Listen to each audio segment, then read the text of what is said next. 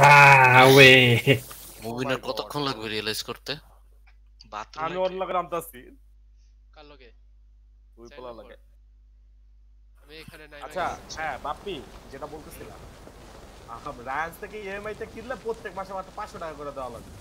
কি কিনবি? আমাকে আমার ক্রেডিট কার্ড দিবা?